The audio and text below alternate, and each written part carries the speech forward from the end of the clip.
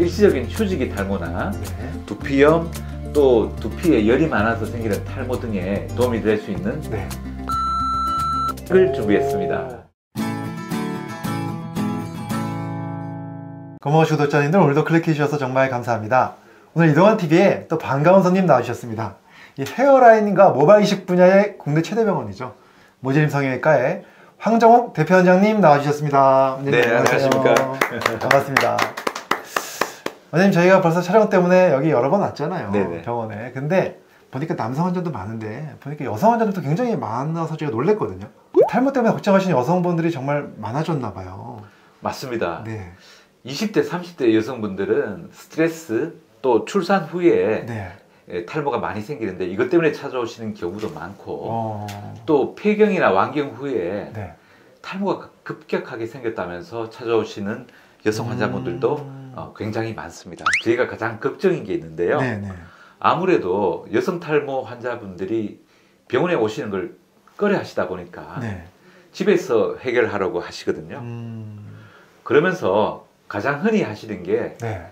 그 남편이 받아온 남성용 탈모약을 어. 함께 먹는 경우가 많습니다. 오. 네. 보통 우리가 남성분들께는 탈모 치료를 하면서 프로페치아나 네. 피나스트라이드, 아보다트 등을 장기간 복용하기에 권해드리는데요. 네. 여성분들이 예. 이 약을 임의적으로 그냥 드시는 거예요. 오. 그런데 이럴 경우 정말 심각한 부작용을 일으킬 수 있습니다. 남성에게 처방된 탈모약을 여성이 먹을 경우에 부작용이 생길 수 있잖아요. 네. 좀 자세하게 설명을 부탁드리겠습니다. 네. 보통 남성 탈모, 네. 즉 대머리는 안드로겐성 탈모라고도 부릅니다. 음. 대부분 남성 호르몬이 원인인데요. 네. 남성 호르몬인 테스토스테론이 네. 탈모 호르몬이라고 부르는 DHT로 전환이 되는데 네. 이 DHT가 체내 농도가 상대적으로 높으면 음. 모낭이 축소되면서 음. 탈모가 진행되는 것입니다. 그렇죠. 그래서 남소 탈모약의 경우에는 음. 남성 호르몬의 작용을 억제해서 음. 탈모를 치료하는 원리가 됩니다. 음. 그래서 제일 위험한 것은 네. 가임기 여성이 이 약을 복용하게 될 경우 네. 남성 태아에게 생식기 비정상 등 기형아를 유발할 수 있는 음. 아주 심각한 부작용을 초래할 수 있습니다. 아 그렇군요. 그렇다면 가임기 여성이 아닌 경우에는 괜찮나요? 네. 그것도 아닙니다. 어. 일단 20대에서 40대의 경우에는 네. 대부분 휴지기 탈모입니다. 음. 우리 머리카락 한 가닥의 생애를 보면요. 네. 모발이 생겨서 자라는 생장기를 거쳐서 네. 또 태행하는 그 태행기를 거치고 네. 또 태행한 모근이 모낭 속에서 잠깐 쉬고 있다가 빠지는 휴지기를 거치게 음. 됩니다. 음. 그래서 우리 모발을 어, 100이라고 하면 네. 생장기 모발이 한 90% 정도 되고 네. 휴지기 모발이 약 10% 정도 됩니다. 음. 네. 휴지기 탈모는 네. 이 휴지기 모발이 10보다도 올라가면서 어. 머리카락이 많이 빠지게 되는 현상을 말합니다. 음. 보통 네. 그 출산이나 음. 큰 수술, 네. 극심한 다이어트, 스트레스, 갑상선 호르몬 질환 등이 네. 원인입니다. 아, 네. 이분들은 남성 호르몬 가다가 원인이 아닌데 네. 남성 호르몬을 억제하는 탈모약을 먹어봤자 효과가 나오지도 않고 음. 오히려 부작용만 생길 수 있는 거죠. 음. 제가 좀 여쭤보고 싶은 게 이게 먹지 않고 네. 만지기만 해도 안 된다는 얘기가 있죠. 어, 최악의 경우에는 네. 이약 을 만졌을 때 그 부스러기가 몸으로 흡수되면 네. 어, 영향을 줄 수 있습니다. 아. 어, 근데 실제로 그런 가능성은 낮, 낮는데 그만큼 어, 가임기 여성은 남성의 탈모약을 조심하라는 겁니다. 아, 그러면 여성분들께서 이 갱년기 이후에 탈모가 생기잖아요. 이것이 그냥 여성형 탈모인지 아니면 이것도 이제 안드로게성 탈모일 수도 있잖아요. 네네. 그걸 구분할 수 있는 방법이 있을까요? 남성분들에게 나타나는 안드로게성 탈모는 네. 이마의 가장자리가 점점 비어가면서 네. M자로 올라가거나 네. 이 정수리가 휑하게 비어가는 패턴을 보입니다. 음. 반대로 네. 여성분들은 보통은 그 정수리의 가르마가 점점 넓어지고 그러니까 이. 전체적으로 네. 이 가리마 부위가 어. 넓어지고 네. 심하면 네. 정수리가 역시 동그랗게 휑하게 빠집니다. 어.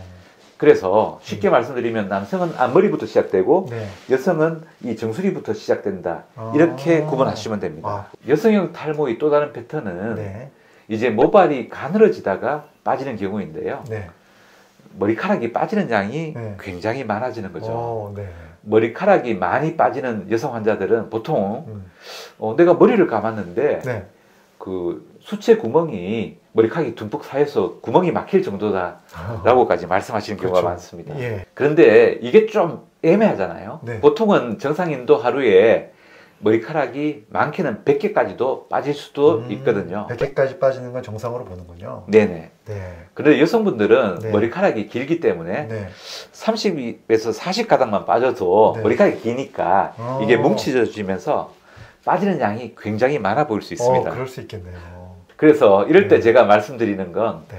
한번 내가 하루에 음. 머리카락이 얼마나 빠지는지 머리카락을 어, 세어 보는 것입니다. 아.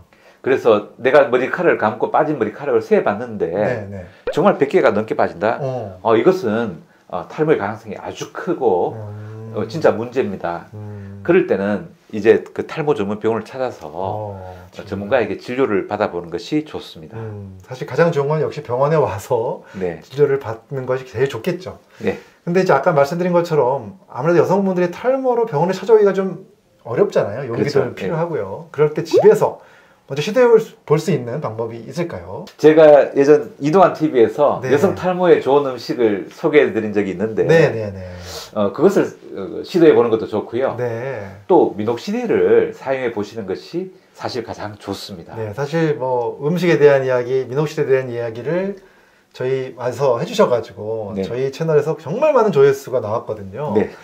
궁금하신 분들은 저희가 또 이 영상 최종화면 링크 걸- 걸어둘 테니까 꼭 보시면 좋겠습니다.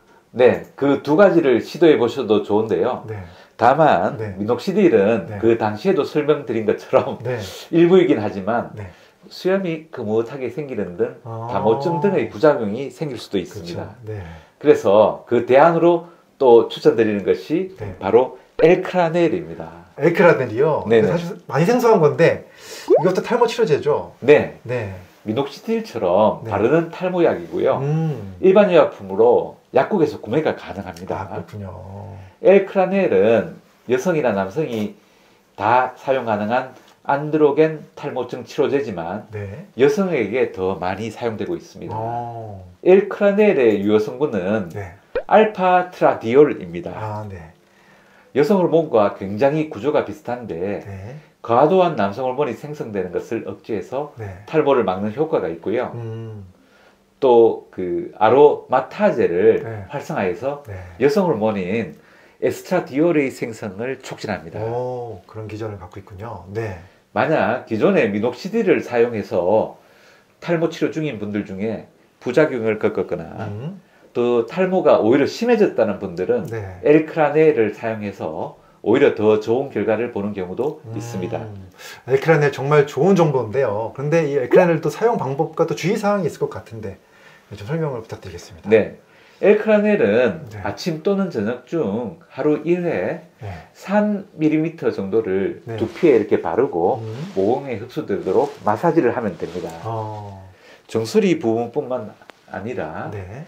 그 옆부분 가리마를 타서 골고루 발라주면 되는데요. 네. 특히 미녹시딜은 많이 좀 끈적거리잖아요. 네. 그 미녹시딜과 달리 끈적거림이 없기 때문에 네. 아침에 발라도 되는 것이 편한 점으로 음. 꼽히는데요. 네. 경우에 따라서는 아침에는 엘크라넬, 어. 저녁에는 미녹시딜을 바르시는 경우도 가능합니다. 네. 엘크라넬을 바랐을 때 자결감이나 음. 혹시 두피에 홍반이 생기는 경우 음. 사용을 바로 중단하시는 것이 좋습니다. 음. 또 지성 두피거나 네. 평소 지루성 피부염이 있는 경우 네. 사용 시 좀 더 주의해 주시면 좋겠습니다. 아, 네. 그렇군요. 자, 그렇다면 이제 두피가 예민하거나 또 지성 두피인 분들한테는 또 어떻게 해야 되나 고민일 것 같은데 그런 분들 좀 더 부담 없이 집에서 쉽게 할 수 있는 방법은 또 없을까요? 네, 당연히 제가 그런 방법도 준비했습니다. 네. 앞서 말씀드린 네. 일시적인 휴지기 탈모나 네. 두피염 또 두피에 열이 많아서 생기는 탈모 등에 도움이 될 수 있는 네. 알로에 레몬팩을 오, 준비했습니다. 알로에 레몬팩. 네. 네. 네. 두피 열감도 내려주면서 음. 두피 청소에도 도움이 되면서 음. 탈모 예방에 도움이 될 수 있는 아주 좋은 방법입니다. 알로에 레몬팩 정말 궁금한데요. 네.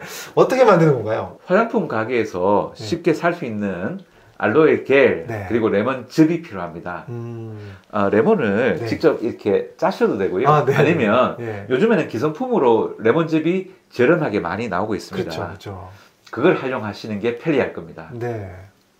우선 어, 알로에 수딩 젤 5스푼에 네. 레몬즙 1스푼을 넣고 섞습니다. 아. 5대1 비율로 해서 저어주시면 네. 향도 좋고 네. 거의 물과 같은 상태가 됩니다. 음. 그 다음 두 번째로 이걸 스프레이 공병에 넣어 주시고요. 네. 샴푸 어, 3, 4cm 간격으로 그 가리말 타서 네. 두피에 도포하면 되는데요. 네. 약 10분 정도 음. 방치한 후에 헹궈주시면 좋습니다. 아, 네. 알로에가 네. 두피에 열감을 내려주고 음. 레몬수가 음. 두피에 스케일링 역할을 하면서 음. 두피 진정 효과를 줘서 음. 탈모 예방에 도움이 될 수 있습니다. 지난번에 이제 커피 샴푸 알려주셔가지고 많은 분들이 해주셨는데 오늘 이것도 많은 분들이 따라해 주실 것 같습니다. 네. 너무 간단한 방법인 것 같고요. 사실 이렇게 이제 팩도 하고 또 엘크라넬도 쓰고 미노실드 썼는데도 효과가 없는 경우도 있잖아요. 네. 예, 그런 경우 이제 병원에 오실 텐데 네. 어떻게 치료하시는지도 궁금해요. 일단 앞에서 언급했듯이 네. 그 탈모의 원인이 네. 유전적인지 아니면 다른 질환이 있는지 네. 어, 그 엄밀히 찾아서 그 원인을 교정하고요. 아, 어 그리고 그 다음에 이제 일반적인 약물 치료 외에 주사 치료를 음. 하는 것이 좋습니다. 요새는 보톡스나 음. 각종 선장 인자를 두피에 깊게 또는 얇게 주사하는 여러 가지 테크닉들이 있거든요. 네네. 그리고 그 혈류를 증가시키는 자기장 치료나 레이저 음. 치료를 덧붙이면 좀 더 치료 효과를 높일 수 있습니다. 네, 오늘 황정 원장님 나오셔서 이 탈모 때문에 고민하시는 여성분들이 집에서 할 수 있는 두피 팩부터 약국에서 할 수 있는 약품 그리고 또 병원에서 할- 받을 수 있는 치료까지 아주 일목요연하게 설명해 주셨습니다. 네. 어, 너무 감사드리고요. 많은 분들한테 큰 도움이 됐을 것 같습니다. 네, 오늘 여기까지 하고요. 수고 많으셨고 다음에 또 찾아뵙도록 하겠습니다. 네, 네, 감사합니다. 감사합니다.